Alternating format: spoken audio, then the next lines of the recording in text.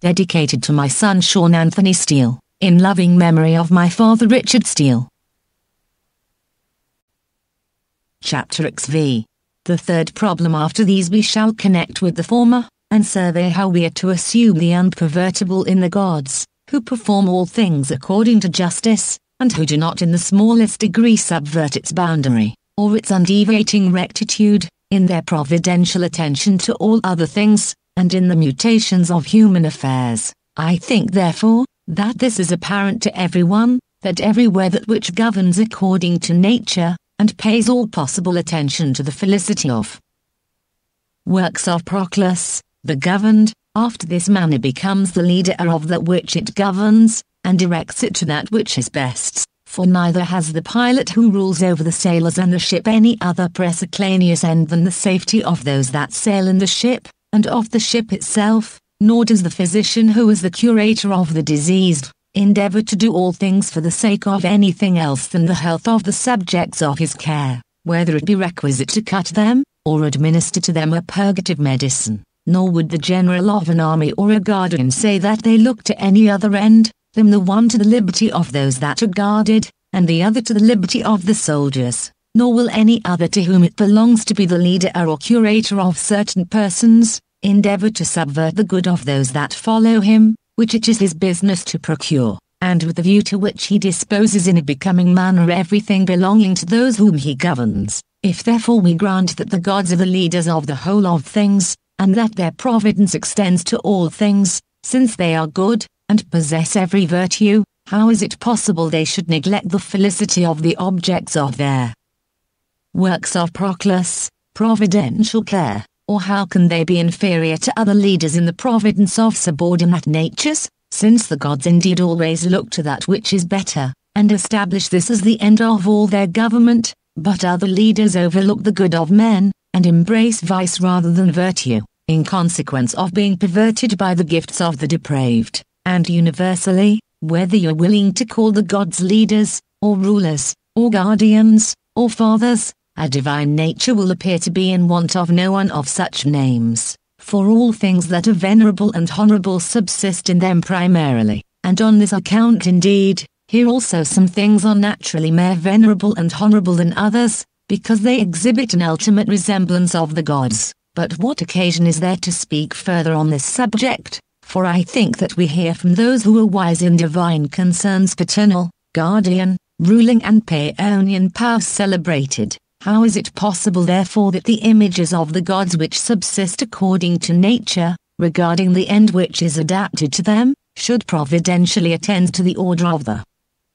works of Proclus, things which they govern, but that the gods themselves with whom there is the whole of good, true and real virtue, and a blameless life, should not direct their government to the virtue and vice of men, and how can it be admitted, on this supposition, that they exhibit virtue victorious in the universe, and vice vanquished, will they not also thus corrupt the measures of justice by the worship paid to them by the depraved, subvert the boundary of undeviating science, and cause the gifts of vice to appear more honorable than the pursuits of virtue? For this mode of providence is neither advantageous to these leaders, nor to those that follow them. For to those who have become wicked, there will be no liberation from guilt, since they will always endeavor to anticipate justice, and pervert the measures of desert, but it will be necessary, which it is not lawful to assert, that the God should regard as their final end the vice of the subjects of their providence, neglect their true salvation,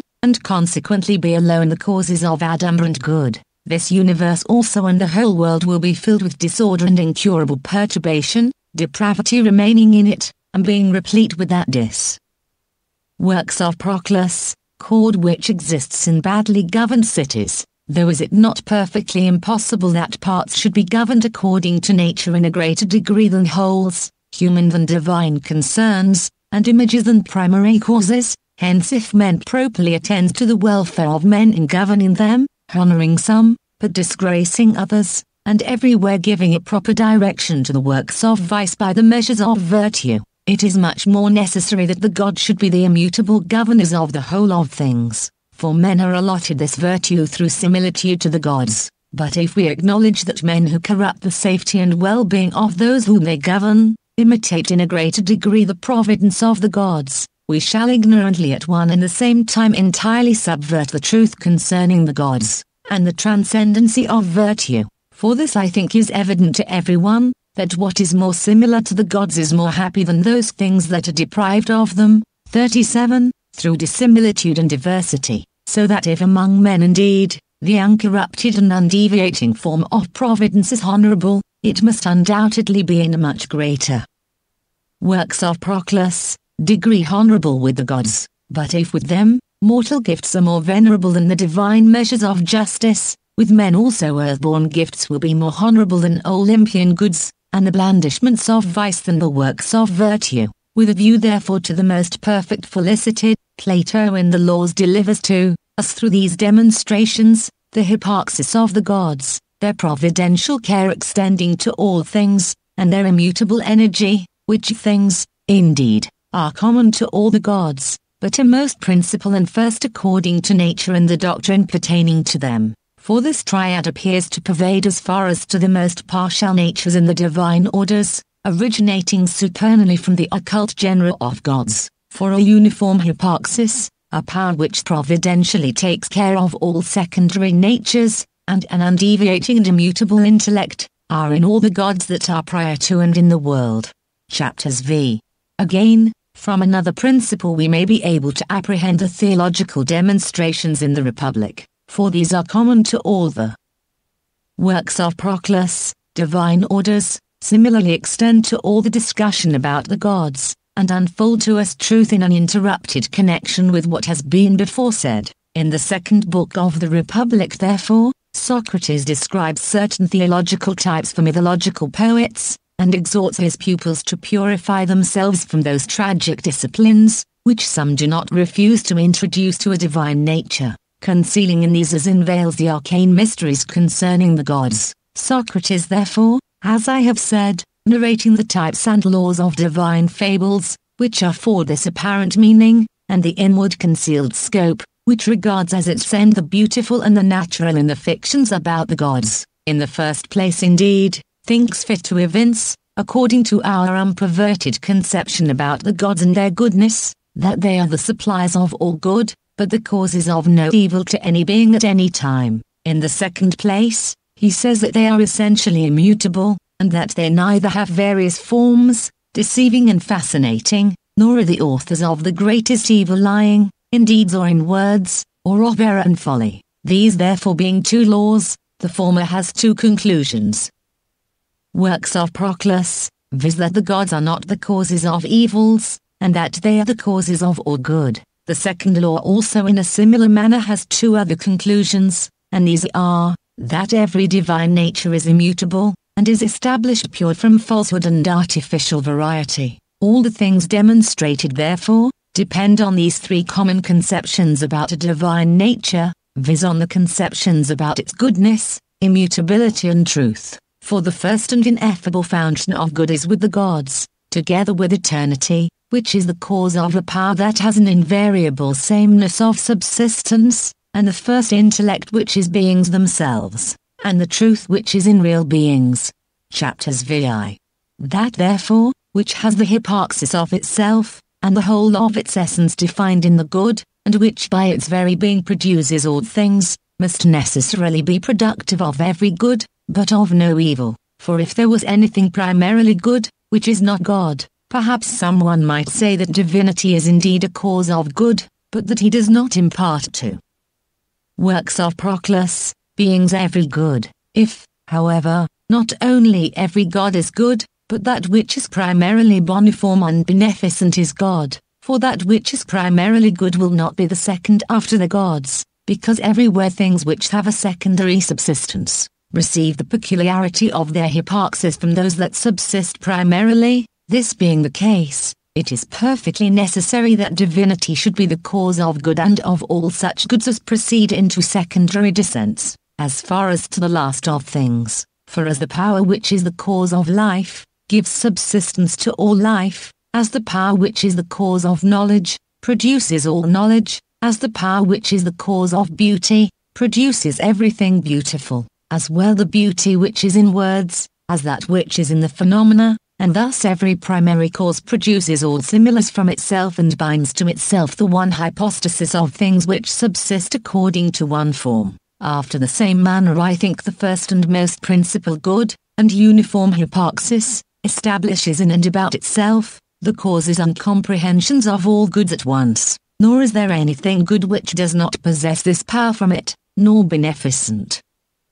Works of Proclus, which being converted to it, does not participate of this cause, for all goods are from thence produced, perfected and preserved, and the one series and order of universal good, depends on that fountain. Through the same cause of hyparxis therefore, the gods are the suppliers of all good, and of no evil, for that which is primarily good, gives subsistence to every good from itself, and is not the cause of an allotment contrary to itself, since that which is productive of life, is not the cause of the privation of life, and that which is the source of beauty is exempt from the nature of that which is void of beauty and is deformed, and from the causes of this. Hence, of that which primarily constitutes good, it is not lawful to assert that it is the cause of contrary progeny, but the nature of goods proceeds from thence undefiled, unmingled and uniform, and the divine cause indeed of goods is established eternally in itself,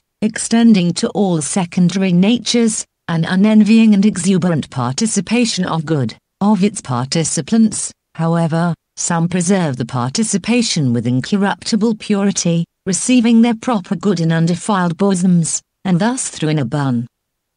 Works of Proclus, dance of power possess inevitably an allotment of goods adapted to them, but those natures which are arranged in the last of the whole of things, entirely indeed enjoy according to their nature the goodness of the gods, for it is not possible that things perfectly destitute of good should either have a being, or subsist at first, but receiving an efflux of this kind, they neither preserve the gift which pervades to them, pure and unmingled, nor do they retain their proper good stably, and with invariable sameness, but becoming imbecile, partial and material, and filled with the privation of vitality of their subject, they exhibit to order indeed, the privation of order, to reason irrationality, and to virtue, the contrary to it, vice, and with respect indeed to the natures which rank as wholes. 38. Each of these is exempt from a perversion of this kind, things more perfect in them always having dominion according to nature, but partial natures through a diminution of power always diverging. 39. Into multitude, division and interval, obscure indeed the participation of good, but substitute the contrary in the mixture with good, and which is vanquished by the combination, for neither here is it lawful for. Works of Proclus, evil to subsist unmingled, and perfectly destitute of good, but though some particular thing may be evil to a part, yet it is entirely good to the whole and to the universe, for the universe is always happy, and always consists of perfect parts, and which subsist according to nature, but that which is preternatural is always evil to partial natures, and deformity, privation of symmetry, perversion, and a resemblance of subsistence are in these, for that which is corrupted, is indeed corrupted to itself, and departs from its proper perfection, but in the universe it is incorruptible and indestructible, and everything which is deprived of good, so far indeed as pertains to itself, and its own subsistence, is deprived of it through imbecility of nature, but it is good to the whole, and so far as it is a part of the universe, for it is not possible that either a privation of life, or deformity and immoderation, or in short privation can be inserted in the universe, but its whole number is always perfect, being held together by the goodness of wholes, and life is everywhere present, together with existence, and the being perfect, so far as each thing gives completion to the whole. Divinity therefore, as we have said,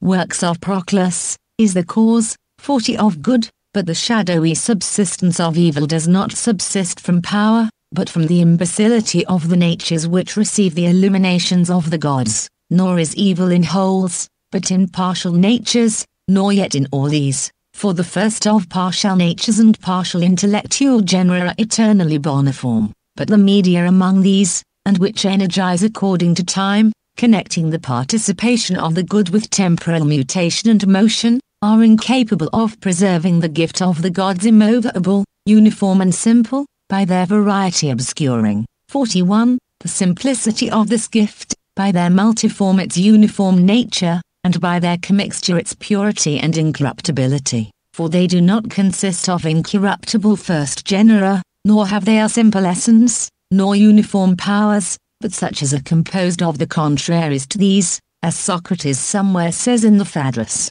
and the last of partial natures and which are also material, in a much greater degree pervert their proper good, for they are mingled with the privation of life, and have a subsistence resembling that of an image, since it is replete with much of non-entity, consists of things hostile to each other, and of sick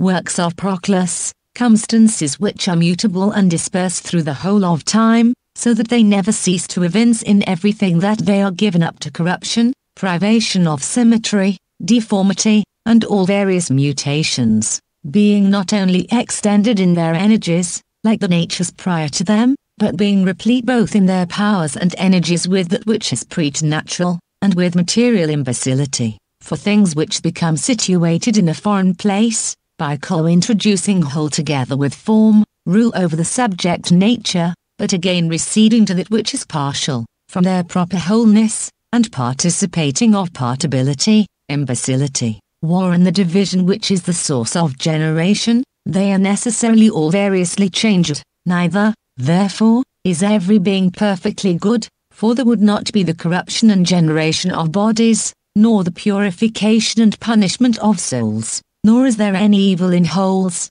for the world would not be a blessed God, if the most principal parts of which it consists were imperfect, nor are the gods the causes of evils, in the same manner as they are of goods, but evil originates from the imbecility of the recipients of good, and a subsistence in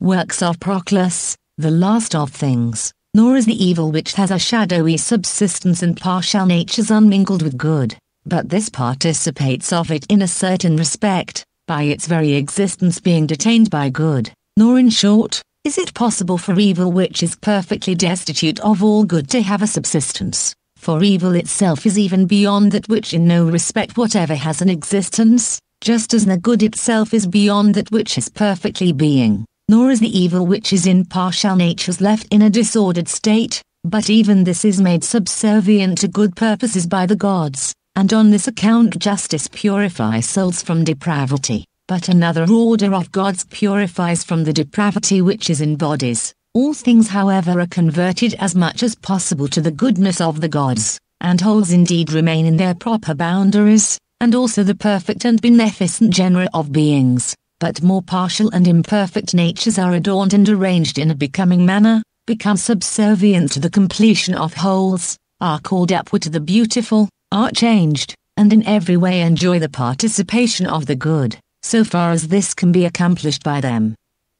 Works of Proclus, for there cannot be a greater good to each of these, than what the gods impart according to measures to their progeny, but all things, each separately, and all in common, receive such a portion of good, as it is possible for them to participate. But if some things are filled with greater, and others with less goods, the power of the recipients, and the measures of the distribution must be assigned as the cause of this. For different things are adapted to different beings according to their nature, but the gods always extend good, in the same manner as the sun always emits light, for a different thing receives this light differently according to its order and receives the greatest portion of light it is capable of receiving. For all things are led according to justice, and good is not absent from anything, but is present to everything, according to an appropriate boundary of participation. And as the Athenian guest says, all things are in a good condition, and are arranged by the gods.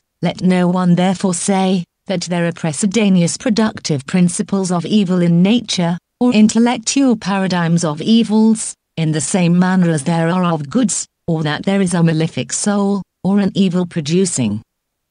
works of Proclus, cause in the gods, nor let him introduce sedition and eternal war against the first good, for all these are foreign from the science of Plato, and being more remote from the truth wander into barbaric folly, and gigantic mythology, nor if certain persons speaking obscurely in arcane narrations, devise things of this kind, Shall we make any alteration in the apparent apparatus of what they indicate? but the truth indeed of those things is to be investigated, and in the meantime, the science of Plato must be genuinely received in the pure bosoms of the soul, and must be preserved undefiled and unmingled with contrary opinions. Chapters VIE. In the next place, let us survey the immutability and simplicity of the gods, what the nature of each of them is, and how both these appear to be adapted to the hyparxis of the gods, according to the narration of Plato. The gods, therefore, are exempt from the whole of things, but filling these, as we have said, with good, they are themselves perfectly good, each of them according to his proper order possesses that which is most excellent, and he whole.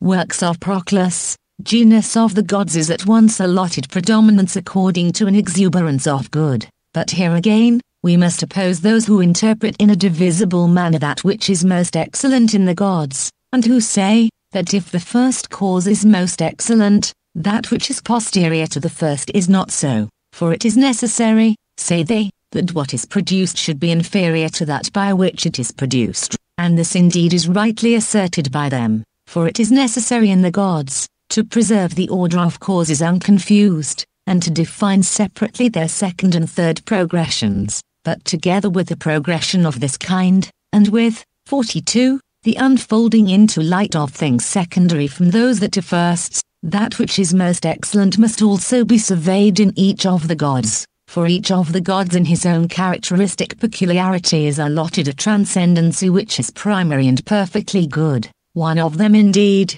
that we may speak of something known, is allotted this transcendency, and is most excellent as possessing a prophetic power, another as demiurgic, but another as a perfecter of works, and Timaeus indicating this to us, continually calls the first demiurgus the best of causes. 4. Works of Proclus, the world, says he, is the most beautiful of generated natures, and its artificer is the best of causes, though the intelligible paradigm, and which is the most beautiful of intelligibles is prior to the demiurgus, but this is most beautiful and at the same time most excellent, as the demiurgic paradigm, and the maker and at the same time father of the universe is most excellent, as a demiurgic god. In the Republic also, Socrates speaking of the gods, very properly observes, that each of them being as much as possible most beautiful and most excellent, remains always with a simplicity of subsistence in his own form, for each of them being allotted that which is first and the summit in his own series, does not depart from his own order, but contains the blessedness and felicity of his own proper power, and neither does he exchange his present for a worse order, for it is not lawful for that which possesses all virtue to be changed into a worse condition, nor does he pass into a better order, for where can there be anything better than that which is most excellent? But this is present with each of the divinities according to his own order, as we have said, and also with every genus of the gods, it is neck works of Proclus, essary therefore that every divine nature should be established immutably, abiding in its own accustomed manner. Hence from these things the self-sufficiency, undefiled purity, and invariable sameness of subsistence of the gods is apparent, for if they are not changed to a more excellent condition of being, as possessing that which is best in their own nature, they are sufficient to themselves, and are not in want of any good and if they are not at any time changed to a worse condition, they remain undefiled, established in their own transcendences. If also they guard the perfection of themselves immutably, they subsist always with invariable sameness. What the self-sufficiency therefore of the gods is, what their immutability, and what their sameness of subsistence, we shall in the next place consider. The world then is said to be self-sufficient, because its subsistence is perfect from things perfect, and a whole from wholes, and because it is filled with all appropriate goods from its generating Father. But a perfection and self-sufficiency of this kind is partible, and is said to consist of many things coalescing in one, and is filled from separate causes according to particy. Works of Proclus, Passion, the order of divine souls also, is said to be self-sufficient, as being full of appropriate virtues, and always preserving the measure of its own blessedness without indigence. But here likewise the self-sufficiency is in want of powers, For these souls have not their intellections directed to the same intelligibles, but they energize according to time, and obtain the complete perfection of their contemplation in whole periods of time. The self-sufficiency therefore of divine souls, and the whole perfection of their life is not at once present. Again, the intellectual world is said to be self-sufficient, as having its whole good established in eternity, comprehending at once its whole blessedness, and being indigent of nothing, because all life and all intelligence are present with it, and nothing is deficient, nor does it desire anything as absent. But this, indeed, is sufficient to itself in its own order, yet it falls short of the self-sufficiency of the gods, for every intellect is boniform, yet is not goodness itself, nor primarily good, but each of the gods is our unity, hyparxis and goodness, the peculiarity however of hyparxis changes the progression of the goodness of each, for one divinity is a perfective. Works of Proclus, goodness, another is a goodness connective of the whole of things, and another is a collective goodness, but each is simply a goodness sufficient to itself, or it may be said, that each is a goodness possessing the self-sufficient and the all-perfect, neither according to participation, nor illumination, but by being that very thing which it is. For intellect is sufficient to itself by participation, and soul by illumination, but this universe, according to a similitude to a divine nature, the gods themselves, however, are self-sufficient through and by themselves, filling themselves, or rather subsisting as the plenitudes of all good. But with respect to the immutability of the gods, of what kind shall we say it is? Is it such as that of a, naturally, circulating body? For neither is this adapted to receive anything from inferior natures, nor is it filled with the mutation arising from generation, and the disorder which occurs in the sublunary regions. For the nature of the celestial bodies is immaterial and immutable. But this indeed is great and venerable, as in corporeal hypostasis, yet it is inferior to the nature of the gods, for every body possesses both its being, and its perpetual. Works of Proclus, immutability from other precedaneous causes, but neither is the impassive and the immutable in the gods such as the immutability of souls, for these communicate in a certain respect with bodies, under the media of an impartible essence, and of an essence divided about bodies, nor again is the immutability of intellectual essences equivalent to that of the gods, for intellect is immutable, impassive, and unmingled with secondary natures, on account of its union with the gods, and so far indeed as it is uniform, it is a thing of this kind, but so far as it is manifold, it has something which is more excellent, and something which is subordinate, in itself. But the gods alone having established their unions according to this transcendency of beings, are immutable dominations, are primary and impassive, for there is nothing in them which is not one and hyparxis, but as fire abolishes everything which is foreign to it and of a contrary power, as light expels all darkness, and as lightning proceeds through all things without defilement, thus also the unities of the gods unite all multitude and abolish everything which tends to dispersion and all perfect division, but they deify everything which particy. Works of Proclus, pates of them, receiving nothing from their participants, and do not, 43, diminish their own proper union by the participation. Hence also the gods being present everywhere, are similarly exempt from all things, and containing all things are vanquished by no one of the things they contain, but they are unmingled with all things and undefiled. In the third place, this world indeed is said to subsist with invariable sameness, so far as it is allotted an order in itself which is always preserved indissoluble. At the same time however, since it possesses our corporeal form, it is not destitute of mutation, as the Elean guest observes. The psychical order likewise is said to obtain an essence always established in sameness, and this is rightly said for it is entirely impassive according to essence, but it has energies extended into time, and as Socrates says in the Phaedrus, at different times it understands different intelligibles, and in its progressions about intellect comes into contact with different forms. Besides these also, much honored intellect is said both to subsist and to understand with invariable and perpetual sameness, establishing at once in eternity its essence, powers, and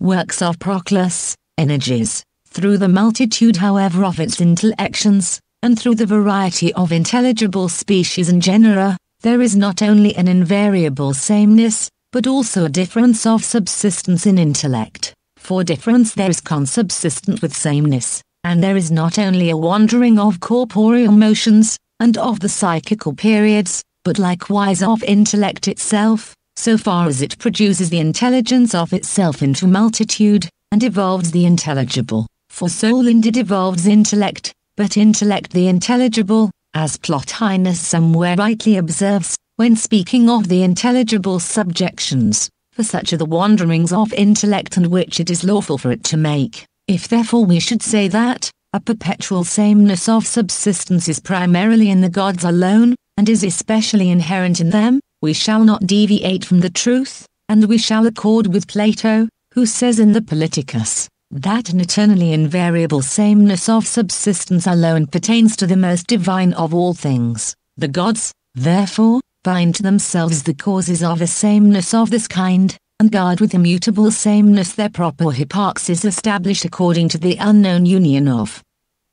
works of Proclus, themselves, and such is the immutability of the gods, which is contained in self-sufficiency, impassivity and sameness. Chapter 6 in the next place, let us consider what power the simplicity of the gods possesses, for this Socrates adds in his discourse concerning a divine nature, not admitting that which is various, and multiform, and which appears different at different times, but referring to divinity the uniform and the simple. Each of the divinities therefore, as he says, remains simply in his own form. What then shall we conclude respecting this simplicity? that it is not such as that which is defined to be one in number, for a thing of this kind is composed of many things, and abundantly mingled, but it appears to be simple so far as it has distinctly a common form, nor is it such as the simplicity which is in many things according to an arranged species or genus, for these are indeed more simple than the individuals in which they are inherent, but are replete with variety, communicate with matter, and receive the diversities of material natures nor is it such as the form of nature, for nature is. Works of Proclus, divided about bodies, verges to corporeal masses, emits many powers about the composition subject to it, and is indeed more simple than bodies, but has an essence mingled with their variety, nor is it such as the psychical simplicity, for soul subsisting as a medium between an impartible essence, and an essence which is divided about bodies, communicates with both the extremes, and by that which is multiform indeed in its nature it is conjoined with things subordinate, but its head is established on high, and according to this it is especially divine, and allied to intellect. Nor again is the simplicity of the God such as that of intellect, for every intellect is impartible and uniform, but at the same time it possesses multitude and progression, by which it is evident that it has a habitude to secondary natures, to itself, and about itself. It is also in itself, and is not only uniform, but also multiform, and as it is said, is one many. It is therefore allotted an essence subordinate to the first simplicity, but the gods have their hyparxis defined in one simplicity alone, being exempt indeed from all multitude so far as they are gods, and transcending all division and interval.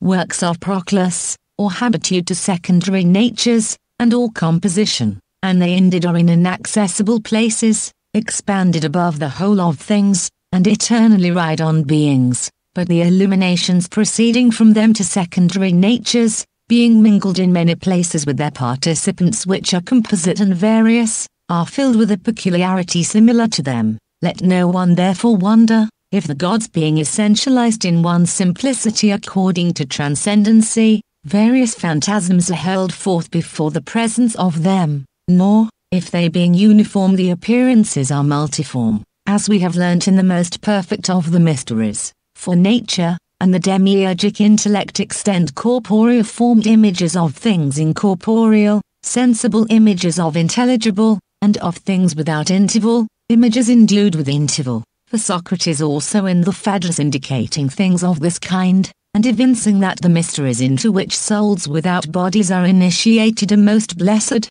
and truly perfect, says, that they are initiated into entire, simple and immovable visions, such souls becoming situated there, and united with the gods themselves, but not meeting with the resemblances.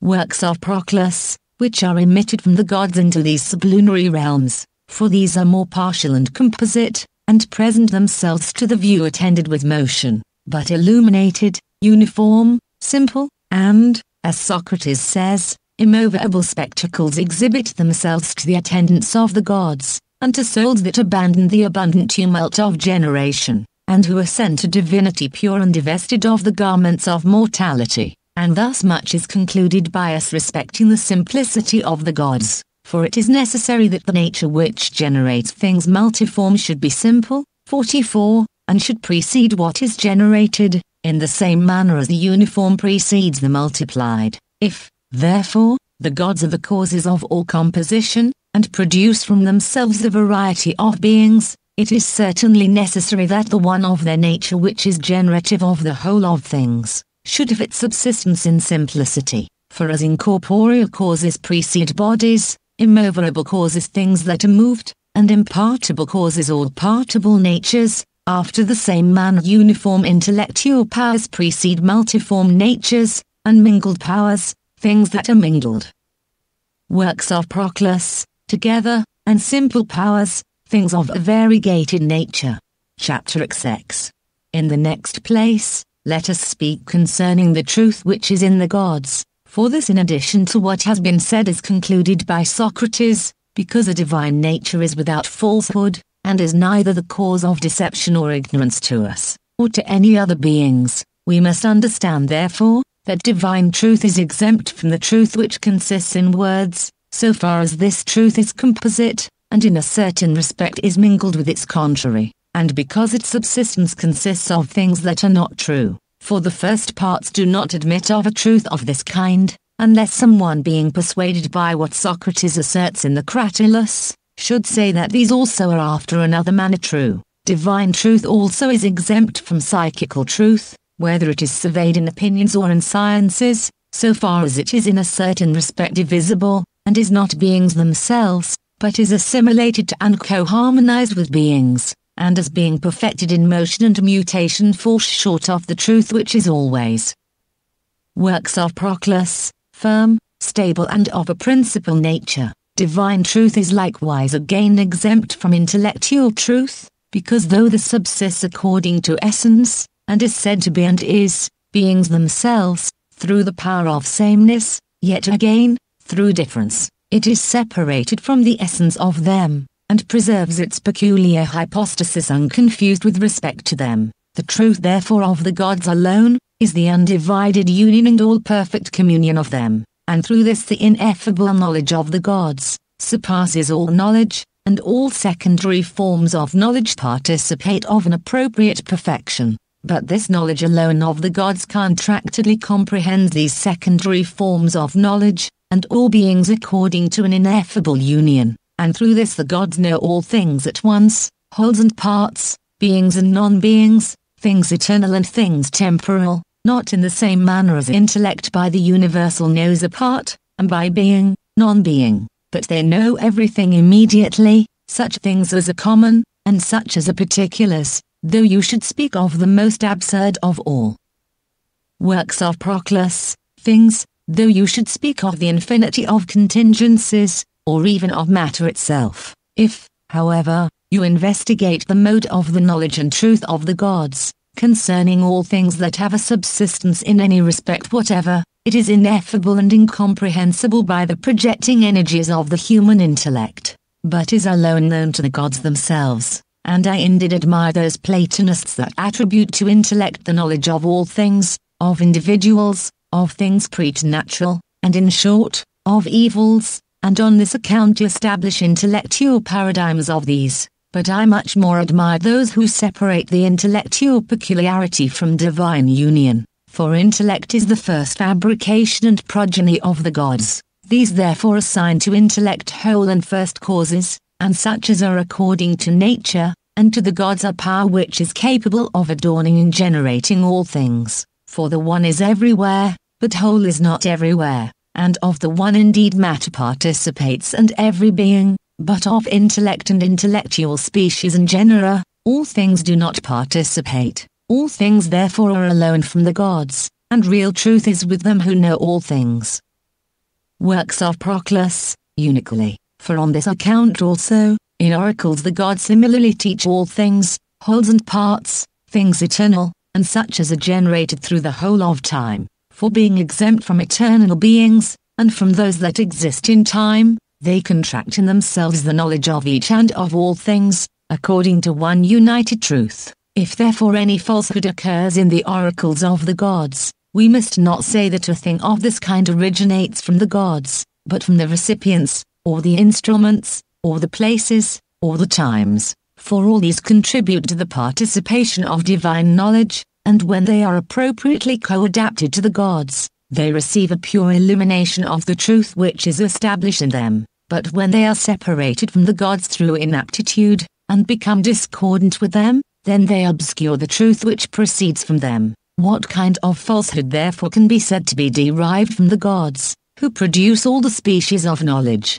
What deception can there be with those who establish in themselves the whole of truth? In the same manner, as it appears to me, the gods extend good to all things, but always that which is willing and able.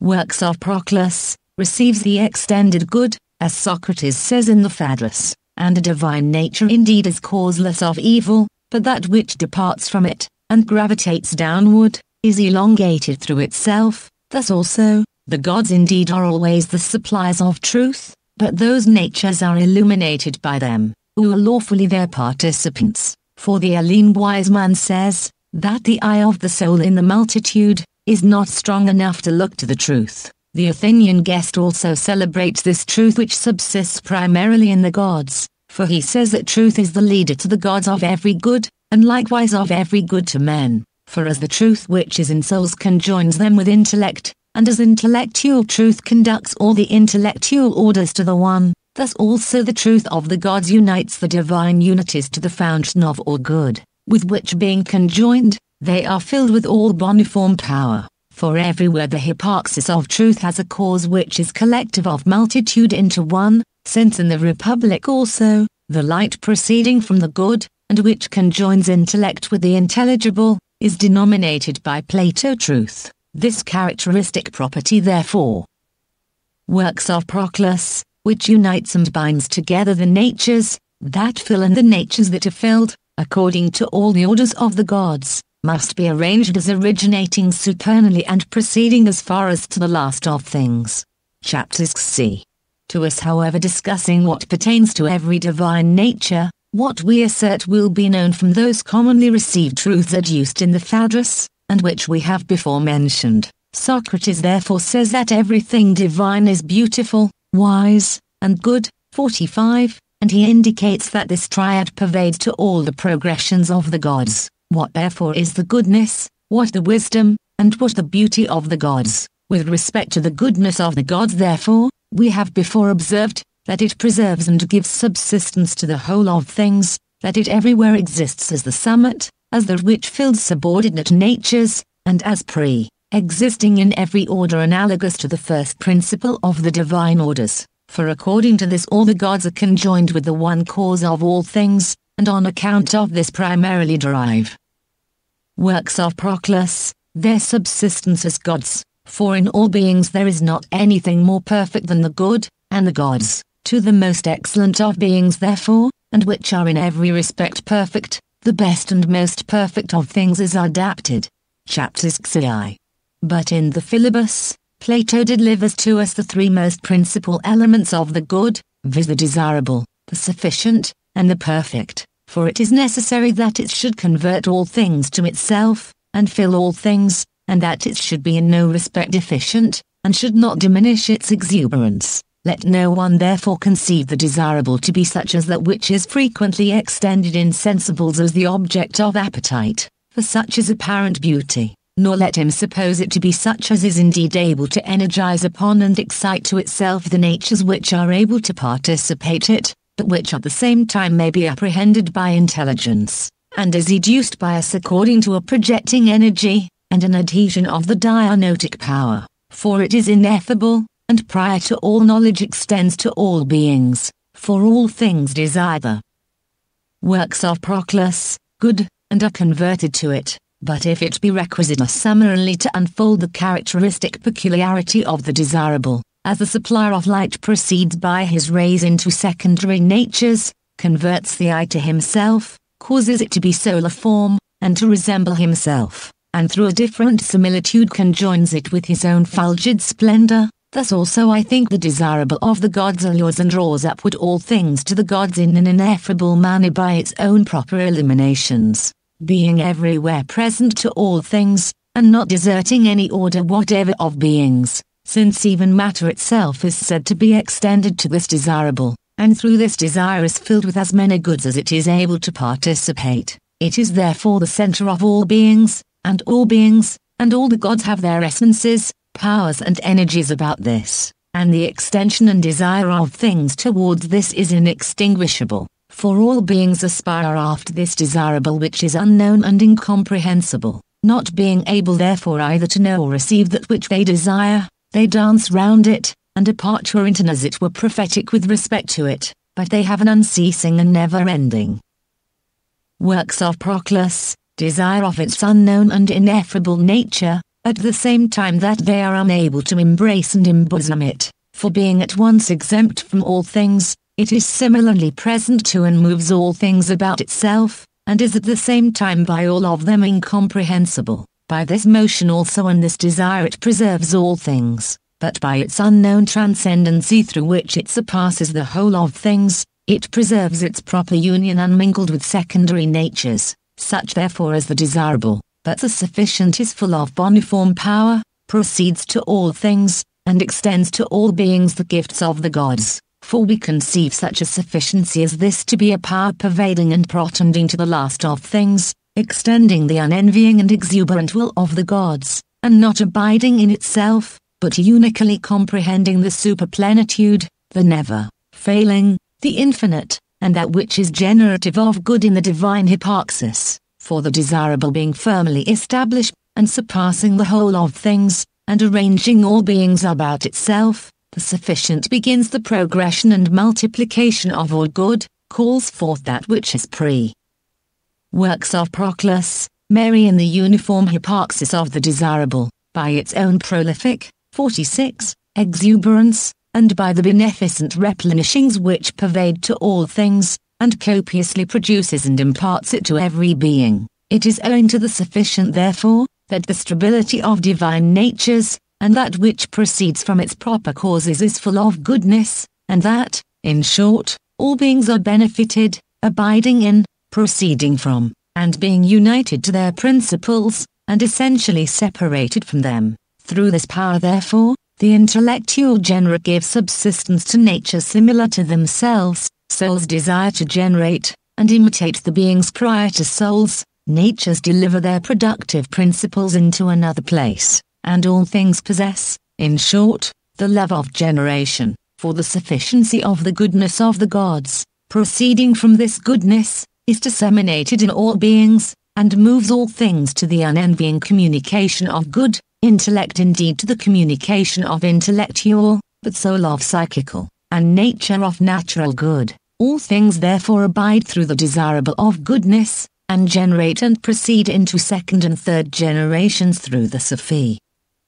works of Proclus, Shint, but the third thing, the perfect, is convertive of the whole of things, and circularly collects them to their causes, and this is accomplished by divine, intellectual, psychical and physical perfection, for all things participate of conversion, since the infinity of progression is through this again recalled to its principles, and the perfect is mingled from the desirable and sufficient, for everything of this kind is the object of desire, and is generative of things similar to itself, or in the works of nature also, are not perfect things everywhere lovely and prolific through the acme of their beauty. The desirable therefore establishes all things, and comprehends them in itself. The sufficient excites them into progressions and generations, and the perfect consummately leads progressions to conversions and convolutions. But through these three causes, the goodness of the gods fixing the unical power and authority of its proper hypostasis in this triad,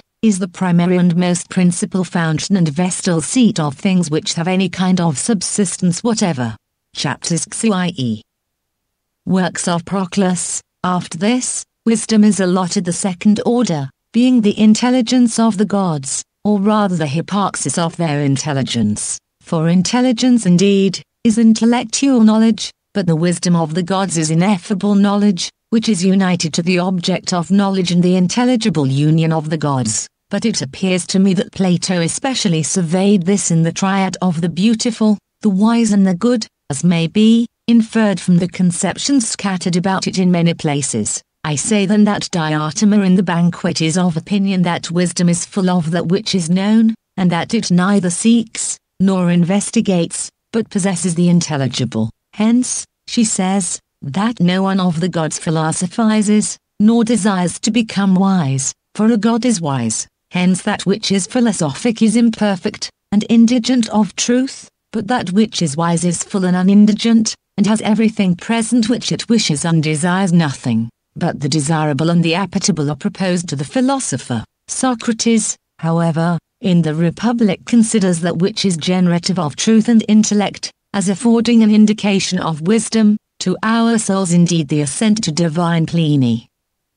Works of Proclus, etude being accomplished through knowledge, 47, but to the gods intellect being present from the fullness of knowledge, 48, for the progression in them is not from an imperfect habit to the perfect, but from a self. Perfect hyparxis a power prolific of inferior natures proceeds. But in the Theaetetus he indicates that the perfective of things imperfect, and that which calls forth concealed intelligence in souls, pertain to wisdom. For he says, it compels me to obstetrication, but prevents me from generating. It is evident therefore, from these things, that the genus of wisdom is triadic. Hence it is full of being and truth, is generative of intellectual truth, and is perfective of intellectual natures that are in energy, and itself possesses a stable power. We must admit therefore, that these things pertain to the wisdom of the gods, for this wisdom is full indeed of divine goodness, generates divine truth, and perfects all things posterior to itself. Chapter Xiv. In the next place let us consider the beautiful, what it is, and how it primarily subsists in the gods. It is said therefore to be boniform beauty. Works of Proclus, and intelligible beauty, to be more ancient than intellectual beauty, and to be beauty itself, and the cause of beauty to all beings, and all such like epithets. And it is rightly said, but it is separate not only from the beauty which is apparent in corporeal masses, from the symmetry which is in these from psychical elegance, and intellectual splendor, but also from the second and third progressions in the gods, and subsisting in the intelligible place of survey, it proceeds from this to all the genera of the gods, and illuminates their super-essential unities, and all the essences suspended from these unities, as far as to the apparent vehicles of the gods, as therefore through the first goodness all the gods are boniform, and through intelligible wisdom they have a knowledge ineffable, and established above intellect, Thus also, I think, through the summit of beauty, everything divine is lovely, for from thence all the gods derive beauty, and being filled with it, filled the natures posterior to themselves, exciting all things, agitating them with Bacchic fury about the love of themselves, and pouring supernally on all things the divine effluxion of beauty.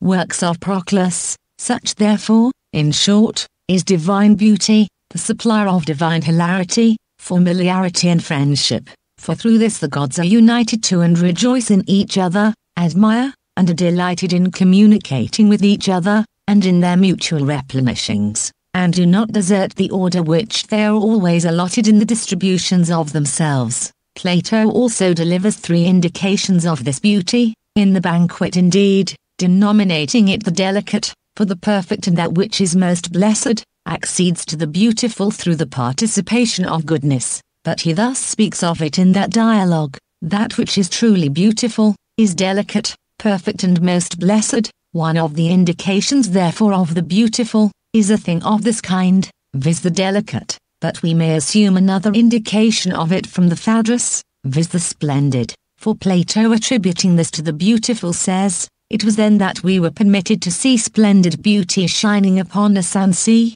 and afterwards he adds, and arriving hither we apprehended it shining most manifestly through the clearest of the senses, and at last he says, but now beauty alone has this allotment to be most splendid and most lovely.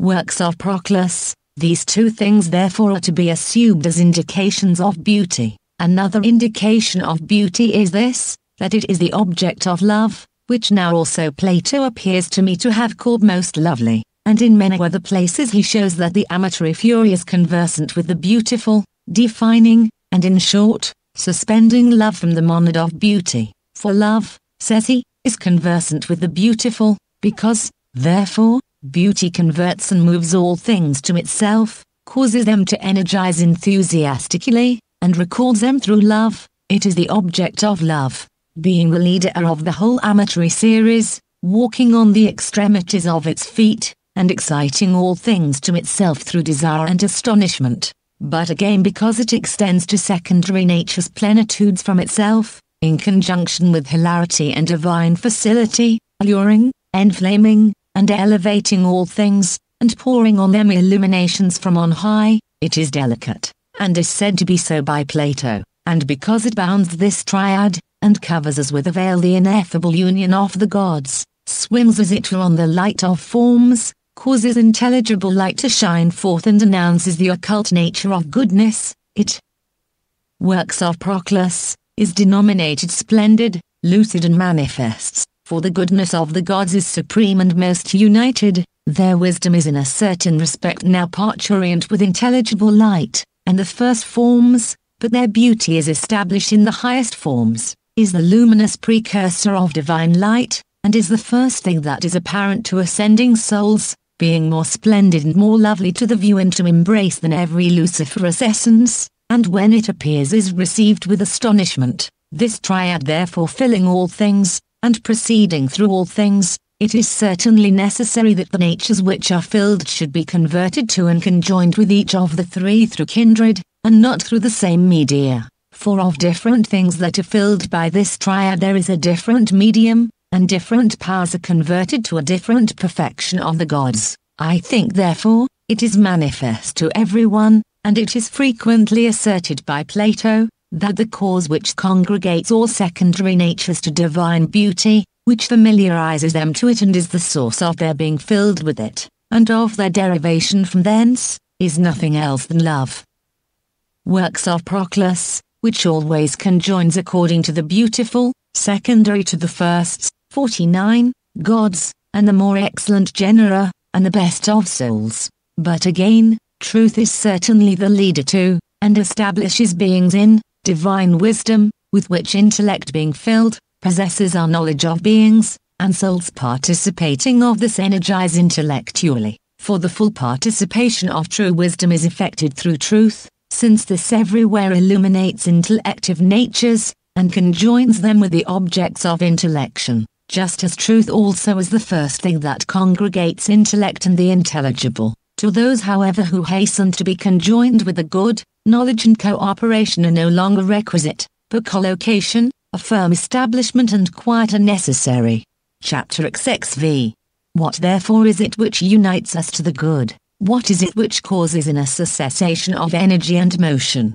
What is it which establishes all divine natures in the first and ineffable unity of goodness? And how does it come to pass that everything being established in that which is prior to itself according to the good?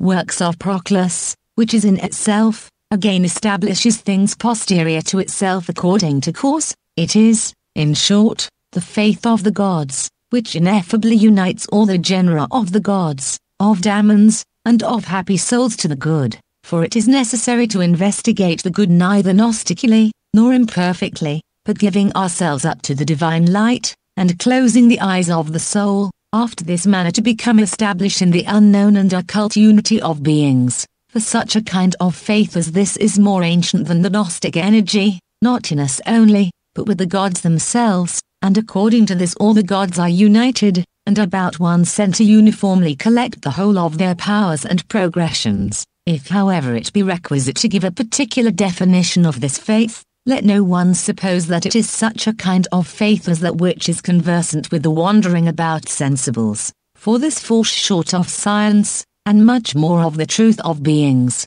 but the faith of the gods surpasses all knowledge, and according to the highest union can join secondary with first natures, nor again, let him conceive a faith of a similar species with the celebrated belief in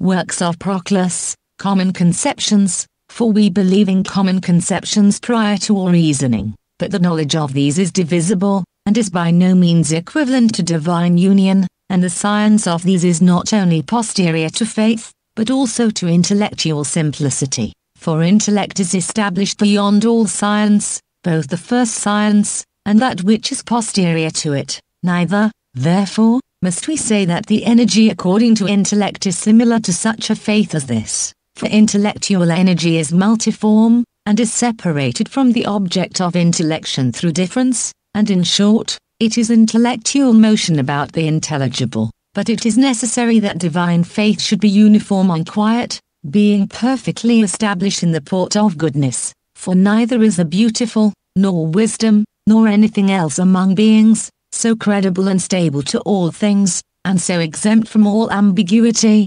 divisible apprehension and motion, as a good. For through this intellect also embraces another union more ancient than intellectual energy, and prior to energy, and soul considers the variety of intellect and the splendor of forms as nothing with respect to that transcendency of the good by which it sir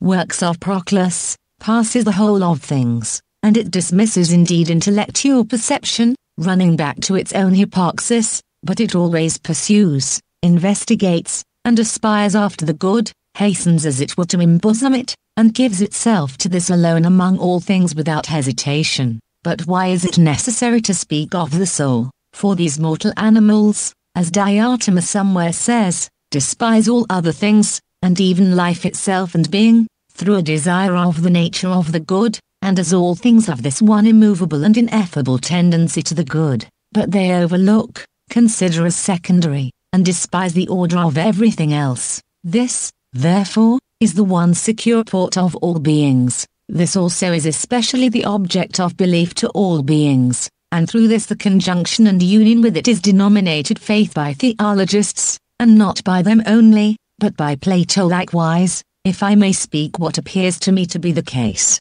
The alliance of this faith with truth and love is proclaimed in the laws. The multitude therefore are ignorant, that he who has a conception of these things, when discoursing about their contraries, infers the same thing with respect to the deviations from this triad. Works of Proclus, Plato then clearly asserts in the laws that the lover of falsehood is not to be believed, and that he who is not to be believed is void of friendship. Hence it is necessary that the lover of truth should be worthy of belief, and that he who is worthy of belief should be well adapted to friendship. From these things therefore, we may survey divine truth, faith and love, and comprehend by a reasoning process their stable communion with each other. If, however, you are willing, prior to these things we will recall to our memory that Plato denominates that virtue fidelity which conciliates those that disagree, and subverts the greatest of wars, I mean seditions in cities, for from these things faith appears to be the cause of union, communion and quiet, and if there is such a power as this in us, it is by a much greater priority in the gods themselves, for as Plato speaks of a certain divine temperance, justice and science, how is it possible that faith which connectedly comprehends the whole order of the virtues should not subsist with the gods? In short, there are these three things which replenish divine natures, and which are the sources of plenitude to all the superior genera of beings, viz. good works of Proclus, wisdom and beauty. And again, there are three things which collect together the natures that are filled, being secondary indeed to the former, but pervading to all the divine orders, and these are faith, truth and love, but all things are saved through these, and are conjoined to their primary causes, some things indeed, through the amatory mania, others through divine philosophy, and others through theurgic power, which is more excellent than all human wisdom, and which comprehends prophetic good, the purifying powers of perfective good, and in short, all such things as are the effects of divine possession. Concerning these things therefore, we may perhaps again speak more opportunely. Chapter XXVI. Again, let us, if you are willing, from other dialogues investigate the common dogmas of Plato about divine natures. Whence therefore, and what dogmas shall we assume, while we proceed in our search according to nature? Are you willing that we should in the next place recall to our memory what is written in the Phaedo? Socrates therefore says in the Demon. Works of Proclus, strations of the immortality of the soul which are derived from its similitude to divinity, that the essence which is superior to the soul, and to which the soul is naturally similar, and being similar participates of an immortal allotment, is divine and immortal, intelligible and uniform, indissoluble and possesses an invariable sameness of subsistence, but that the essence which is inferior to the soul, is entirely the contrary, to which also it pertains to be corrupted and to be passive. For a thing of this kind is sensible and multiform, and is dissoluble because it is a composite, and he predicates among these all such things as pertain to a corporeal subsistence. Let us therefore direct our attention to these common dogmas, and examine after what manner each of them pertains to the gods. In the first place then what is that which we look to when we speak of that which is said to be divine? From what has been said therefore, it is evident that every god subsists according to the highest union of beings, for to us ascending from bodies, the gods have appeared to be superessential unities, the generators, perfecters and measurers of essences, and who bind all first essences to themselves, but that which works of Proclus, is divine, is not only hyparxis and the one in each order of being, but at the same time is that which participates and that which is participated, of which the latter is a god, but the former is divine, whether however, prior to the participated unities, there is something which is separate and participated will be evident in what follows, but at present we shall define that which is divine to be a thing of this kind, viz. being which participates of the one, or the one subsisting contractedly together with being, for we assume all things in the gods except the one, suspended from them and secondary, viz. essence, life and intellect, for the gods do not subsist in, but prior to these, and they produce and contain these in themselves, but are not defined in them. But it is necessary not to be ignorant that these are in reality thus distinguished from each other. In many places, however, Plato magnificently celebrates the participants of the gods by the same names, and denominates them gods, for not only the Athenian guest in the laws calls a divine soul a god, but also Socrates in the Phaedrus for he says that all the horses and charioteers of the gods are good and consist of things good, and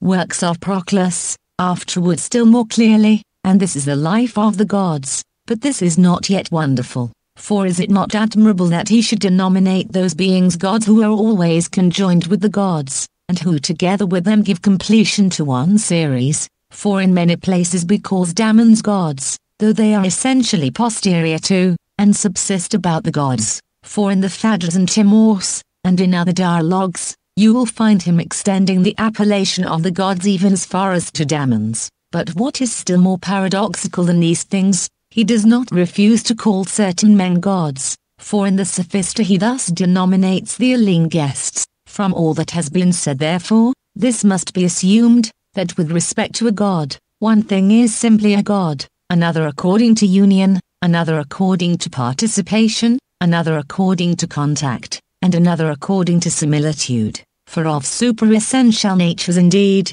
each is primarily a god, of intellectual natures, each is a god according to union, and of divine souls each is a god according to participation, but divine demons are gods according to contact with the gods, and works of Proclus, the souls of men are allotted this appellation through similitude. Each of these however is, as we have said, rather divine than a god, since the Athenian guest calls intellect itself divine, but that which is divine is posterior to the first deity, in the same manner as that which is united is posterior to the one, that which is intellectual to intellect, and that which is animated, to soul, and always those natures that are more uniform and simple have the precedency, but the series of beings ends in the one itself. Let this, therefore, be the definition and distinction of that which is divine. In the next place, let us survey the immortal. For with Plato there are many orders of immortality, pervading from on high as far as to the last of things, and the last echo, as it were, of immortality, is in those visible natures that are perpetual, which the Elean guest, in his discourse about the circulation of the universe, says, are allotted from the Father a renovated immortality, for every body is allotted a being and a life dependent on another cause, but is not itself naturally adapted to connect, or adorn, or preserve itself. The immortality of partial souls is, I think, more manifest and works of Proclus, more perfect than this, which Plato evinces by many demonstrations in the Phaedo, and in the tenth book of the Republic. But I mean by the immortality of partial souls, that which has a more principal subsistence, as containing in itself the cause of eternal permanency. We shall not, however, err if prior to both these we establish the immortality of demons, for the genera of these through which they subsist are incorruptible, and they neither verge to mortality, nor are filled with the nature of things which are generated and corrupted. But I infer that the immortality of divine souls is still more venerable and essentially more transcendent than that of demons, which divine souls we say are primarily self-motive, and are the fountains and principles of the life divided about bodies, and through which bodies obtain a renovated immortality. If, however, prior to these you conceive the gods themselves, and the immortality in them, and how in the banquet Diotima does not attribute an immortality of this kind even to demons, but defines it to subsist in the gods alone. Such an immortality as this will appear to you to be separate, and exempt from the whole of things, for their eternity subsists, which is works of Proclus, the fountain of all immortality, and through it all things live and possess life, some things indeed a perpetual life, but others a life dispersed into non-being. In short, therefore, that which is divine is immortal so far as it generates and comprehends in itself a perpetual life, for it is immortal, not as participating of life, but as the supplier of a divine life, and as deifying life itself, whether you're willing to call such a life intelligible, or by any other name. In the next place let us direct our attention to the intelligible. It is denominated, Therefore, in opposition to that which is sensible and which is apprehended by opinion in conjunction with sense, for the intelligible is first unfolded into light in the most principal causes, for soul is indeed intelligible, is of this allotment, is exempt from sensibles, and obtains an essence separated from them. Prior to soul also intellect is intelligible, for we rather think it fit to arrange soul in the middle, than to co-numerate it with the first essences. That likewise is denominated intelligible, which is more ancient than intellect, which replenishes intelligence, and is itself by itself perfective of it, and which Timaeus arranges prior to the demiurgic intel. Works of Proclus, let and intellectual energy, in the order of a paradigm, but beyond these is the divine intelligible, which is defined according to union itself, and a divine hyparxis for this is intelligible as the object of desire to intellect, as perfecting and comprehending intellect, and as the plenitude of being. In one way, therefore, we must denominate the intelligible as the hyparxis of the gods, in another way as true being in the first essence, in another way as intellect and all intellectual life, and in another way as soul and the psychical order. It is likewise necessary not to fashion the different natures of things conformably to names. Such, Therefore, is the order of this triad, so that what is divine indeed is unmingled and ranks as the first, that which is immortal is the second, and that which is intelligible the third. For the first of these is deified being, the second is life subsisting according to the immortality of the gods, and the third is intellect, which is denominated intelligible in consequence of being replete with union. Chapter XXVII. After this, it follows in the next place, that we should consider the uniform, the indissoluble works of Proclus, and that which has an invariable sameness of subsistence, from the same causes, and these are the precursors of, and pervading through all the divine orders, for the uniform, indeed, has the highest subsistence, is present with the divine monad, and appears to be especially adapted to that which is primarily being, 50, and in which also every participable genus of unities ends, for the one is prior to these, as will be evident as we proceed, but the indissoluble is the second, for it comprehends and binds the extremes according to divine union, since the dissoluble is such as it is through the want of connection and of a power which collects multitude into one, and that which has an invariable sameness of subsistence is eternal, and is full of the perpetuity of the gods, from which also the participation of immortality and eternal sameness is derived to other things. The uniform, therefore pertains to the same thing as the divine, but the indissoluble to the same thing as the immortal, and that which has an invariable sameness of subsistence we must refer to the intelligible, and do you not see how these are severally after a manner co-adapted to each other? 4. Works of Proclus, the best of these, through the first unity which is participated by being is, as it is fit it should be, uniform, for if a God subsists according to the one, that which is divine will doubtless be uniform, but that which through one cause of life is immortal, is also similarly indissoluble, for life is the bond of dissoluble natures, which also Timaeus indicating to us, opposes the dissoluble to the immortal, for you are not immortal, says the Demiurgus, yet you shall never be dissolved, nor be subject, 51, to the fatality of death, everything mortal, therefore, is dissoluble, but the immortal is indissoluble. That, however, which has a renovated immortality is for the same reason neither indissoluble, nor mortal, for being in the middle of both it is neither of the extremes, according to each opposition, but the third of these being established according to the plenitude of whole intelligible subsists at once and is invariably the same, for the intelligible is the cause of sameness and of eternal permanency, and intellect through this is entirely eternal. These triads, therefore, proceed from the first and most principal causes, in the same manner as we demon.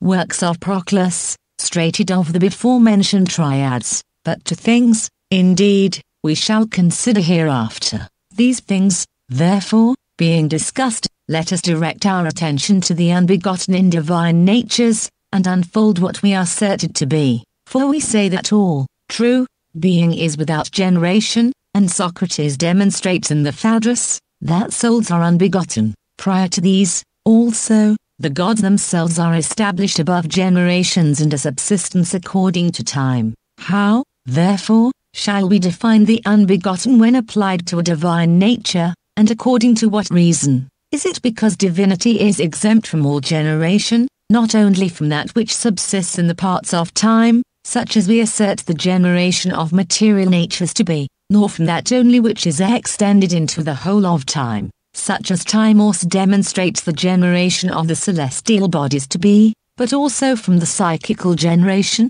since Timaeus denominates this to be unbegotten according to time, but to be the best of generated natures, and in short, a divine nature is exempt from all division and essential separation, for the progression of the gods is always according to a union of sec. works of Proclus, Ondary natures, which are uniformly established in the nature prior to them, the things producing containing in themselves the thing produced, the indivisible, therefore, the unseparated and the united are in reality unbegotten, so that if certain generations of the gods are spoken of by Plato in fabulous figments, as in the fable of Diotima, the generation of Venus is celebrated, and of love at the birth of Venus. It is necessary not to be ignorant after what manner things of this kind are asserted, and that they are composed for the sake of symbolical indication, and that fables for the sake of concealment call the ineffable unfolding into light through causes, generation. For in the Orphic writings, indeed, the first cause is on this account denominated time, since again, for another reason, it is thus denominated, in order that a subsistence according to cause may be the same as a subsistence according to time, and the progression of the gods from the best of causes is properly denominated generation according to time. To Plato, therefore, mythologizing, it is adapted to devise things of this kind conformably to theologists, but when he is discoursing dialectically, and investigating and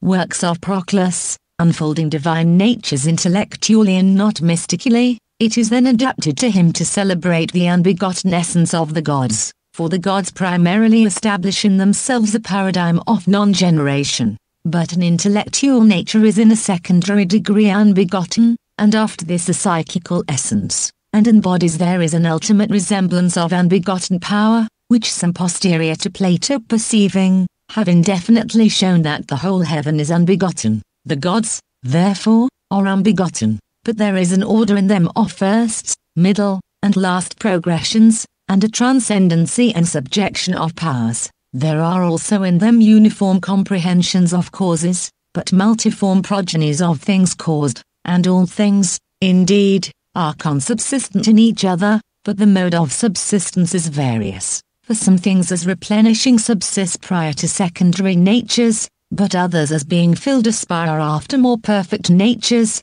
and participating of their power become generative of things posterior to themselves, and perfective of their hyparxis. Chapter XXVII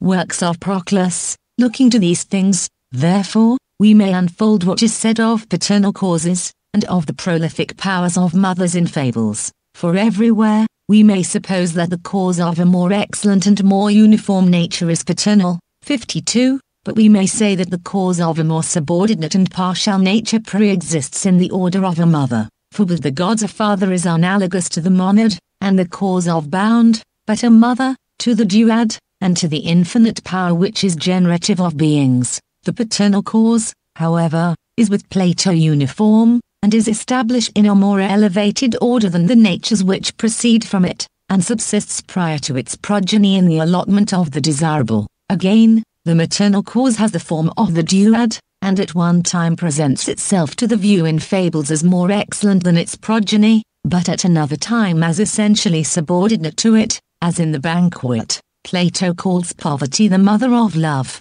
and this is not only the case in fabulous figments, but also in the philosophic theory of beings, as is evident in the Timaeus, for there Plato calls being the father, but matter the mother and nurse of generation, the powers. Works of Proclus, therefore, which are prolific and perfective of secondary natures, and the supplies of life and causes of separation of mothers, being established above the natures produced by them, but the powers which receive the natures that proceed into light, which multiply their energies, and extend even the subordinate allotment of the progeny, are also themselves called mothers. Again, however, the progeny of such like causes, at one time indeed, proceed according to union from their proper principles, and are filled from both the paternal and maternal cause, but at another time they contain the bond of them, being arranged in the middle, conveying the gifts of the fathers to the maternal bosoms, and converting the receptacles of them to the completions of primary causes, but of the natures which subsist from twofold pre-existing principles, some are assimilated to the paternal cause, and such like genera of gods are productive, defensive, and comprehensive, for to produce, to contain, and to defend, pertain to the cause of bound, but others are assimilated to the maternal cause and are prolific, and vivific, and the supplies of motion, of the multiplication of powers, of variety and progressions, for all. Works of Proclus, these are the progeny of infinity and the first multitude. Chapters 6. Thus much therefore may suffice concerning the unbegotten hyparxis of the gods. It now remains, I think, to speak of divine names. For Socrates in the Cratylus thinks fit to unfold in a remarkable degree the rectitude of names in divine natures and Parmenides indeed, in the first hypothesis, as he denies of the one everything else that is known, and all knowledge, so likewise he denies of it name and language. But in the second hypothesis, besides all other things, he shows that this one may be spoken of and, 53, that it has a name. In short therefore, it must be admitted that the first, most principal and truly divine names are established in the gods themselves. But it must be said that the second names, which are the imitations of the firsts, and which subsist intellectually, are of a demoniacal allotment. And again we may say that those names which are the third from the truth, which are logically devised, and which receive the ultimate resemblance of divine natures, are unfolded by scientific men, at one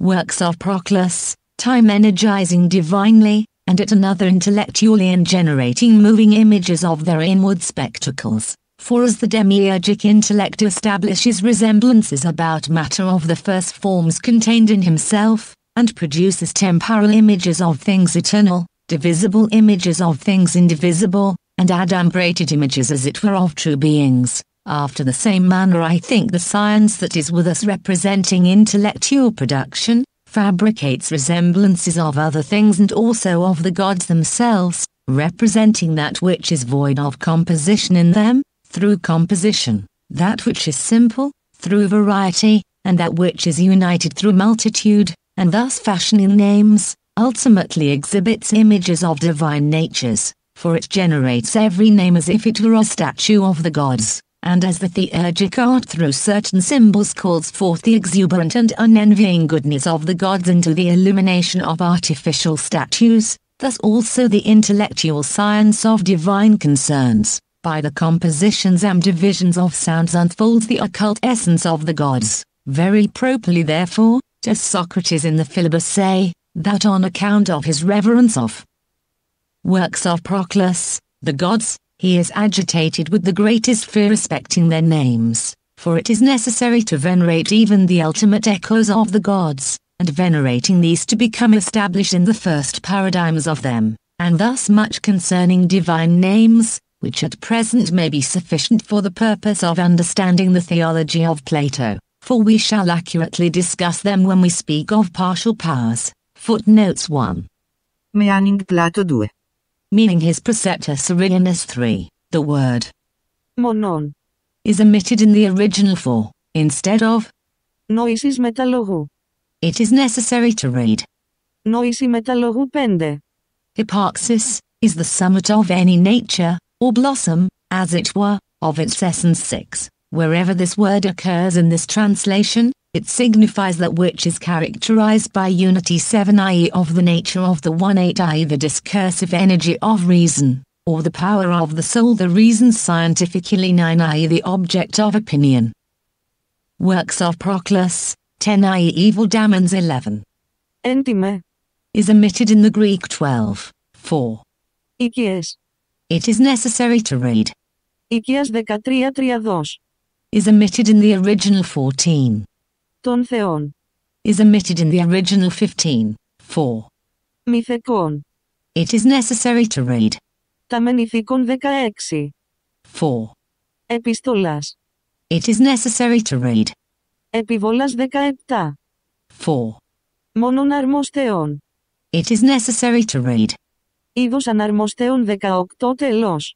is omitted in the original 19, 4. Διετής. I read, Διατριβής 20. 4.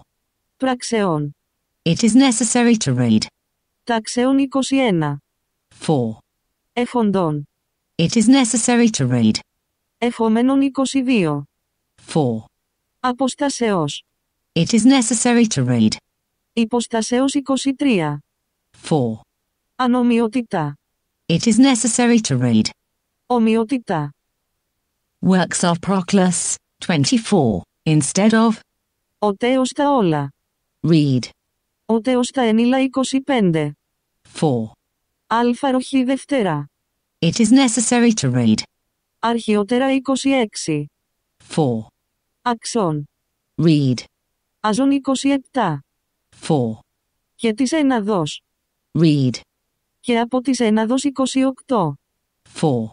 Και ο νου, εννοηδή μια και η ψυχή. Read, Και ο νους εννοηδής, και η ψυχή μια 29. 4. Έων ενεργή. Read. Αΐων ενεργή 30. The sense requires that. Θείου. Should be here supplied 31, instead of, Ομοίου μη κατά δυναμήν. it is necessary to read, Και κατά δυναμήν ταυπάντι ομοιών. as both the sense of the whole sentence and the version of Portus require 32. It seems requisite to supply here the word, Υπερκοσμιών. as in the translation 33, 4. Δευτερών. Read. Δευτέρα 34. It is necessary here to supply the words, Εκ των νοερών θεών 35 και. is omitted in the original. Works of Proclus, 36, 4. Απορείτε. It is requisite to read. Παρήντε 37. 4. Αυτού. It is necessary to read. Αυτόν 38. 4. Αλλών. It is necessary to read. Όλων 39. 4. Εμβαίνοντα. Read. Εκβαίνοντα 40. It is necessary here to supply the word. Αιτιών 41. 4. Παρασκευάζοντα. It is requisite to read. Περισκιάζοντα 42. 4. Το. It is necessary to read. Ταφ 43 οίξ. Is omitted and the original 44, after. Απειλούν. In the original, it is requisite to insert. Είναι και 45 δυνατόν. Is erroneously printed instead of. Αγαθόν 46. Instead of. Μονίμ. It is necessary to read. Γονίμ 47. 4. Γεννησεώς. It is requisite to read. Γνώσεως 48. The same emendation is necessary here as above 49. Instead of. Προς αυτόν. It is requisite to read. Πρωτιστής. Works of Proclus, 50. 4. Τον. It is necessary to read. Τα φόντι 51. 4. Γευσεσθε. Read. Τευξεσθε 52 πατρικών. is omitted in the original 53. Here is omitted in the original.